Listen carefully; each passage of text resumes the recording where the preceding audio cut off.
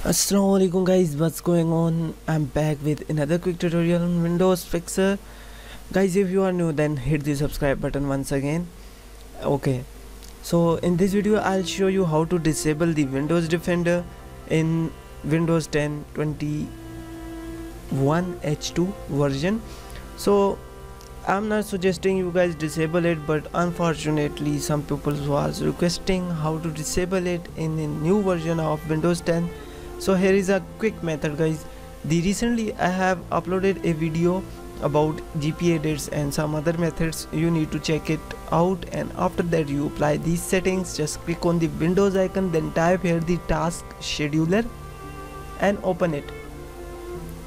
Now here you need to click on the task scheduler library and expand it. Now Microsoft library expanded. Windows expanded. Now find here the Windows Defender.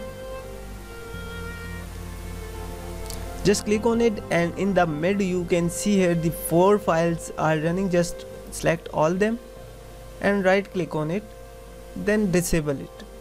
That's it guys. Now just close it. Now make sure you need to watch my recently video for gp edit policies and other uh, methods. You are important with this and the second way is guys very simple. You need to download a windows defender controller. Just search it on google. It's a third party application and you can just disable it. Okay now here type you need to type the gp edit. If it's not working then edit group policies. Still it's not appearing then windows plus r to open the run.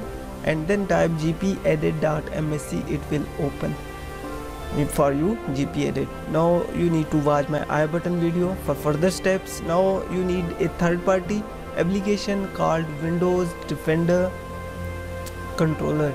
Search it on google you will get it easily.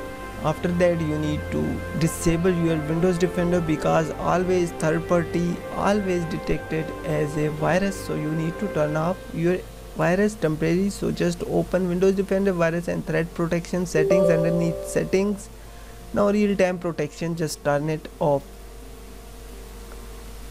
Okay now what you need to do is just uh, open the windows defender controller.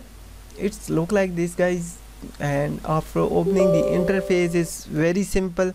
Only there's a few buttons disable windows defender enable windows defender open security center and menu so now we need to disable it but make sure before disabling the windows defender you need to turn off all these uh, options.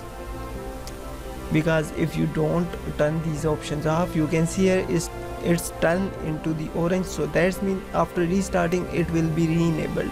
So turn off all these options then click on the disable windows defender. It will turn red. That's mean now your windows defender permanently has been disabled for re-enabling just click on the enable windows defender and it will be re-enabled.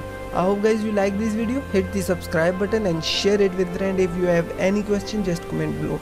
Have a good day. Bye bye